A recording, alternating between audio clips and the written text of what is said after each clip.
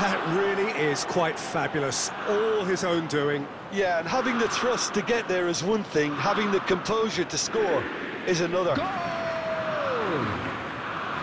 After 43 minutes is number 22,